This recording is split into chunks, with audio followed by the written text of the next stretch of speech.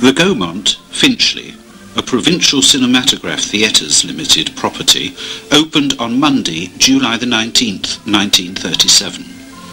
Situated on an imposing island site, it was for many years surrounded by trolleybus wires, there being a major terminus on the north side of the cinema. The street scene at Tallyho Corner represented the best in 1930s urban environment, with the sleek, curved super cinema providing a perfect backcloth to the streamlined, silent trolleybuses.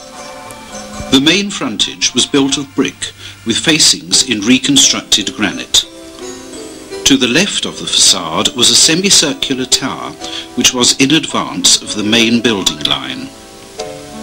The tower provided a waiting area on the ground floor and above was part of the cafe, the windows of which extended in an unbroken line along the whole face of the building. To the right of the facade was a large space for programme announcements. A concrete and glass canopy extended from the side of the tower along the length of the main facade. Immediately under the canopy was another Gaumont name sign, set in a recessed panel which surmounted the main entrance doors. The architects were W. E. Trent, his son W. Sydney Trent, and R. Golding. The semicircular entrance hall was paved in terrazzo and the walls were lined with vertical walnut boards. The ceiling was plain, apart from a narrow semicircular panel, and carried six drop pendant light fittings of a globular pattern. From the back of the pay boxes, two pillars decorated with metallic leaf rose to the underside of an indirect lighting trough. The balcony foyer led to both circle and cafe. The cafe restaurant could hold 120 persons, and its wide panoramic windows afforded fine views of the street scene below. The auditorium seated 2,165, 1,390 in the stalls and 775 in the circle. Decoration was carried out in the modern Swedish style of shades of peach picked out with gold, silver and green. At the base of the walls there was a dado of cork carpet inset with wood fillets. The side walls were decorated with a series of vertical bands in decorative grille style.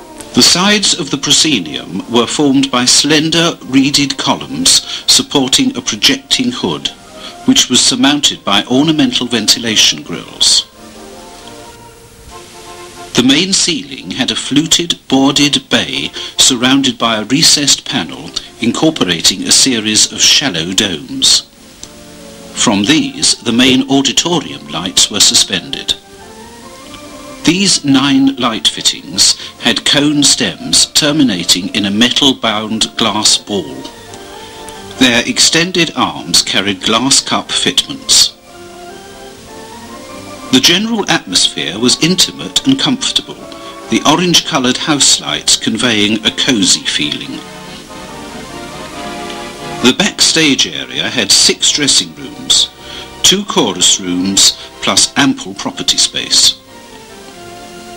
The operating box originally contained three projectors, two Steiner arcs, three high-intensity spot arcs, and a Brenograph that could produce almost any visual effect.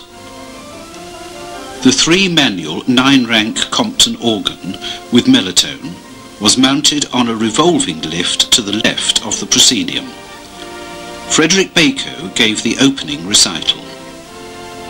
The Gaumont was the only theatre in the London area to retain its original name until it closed in October 1980.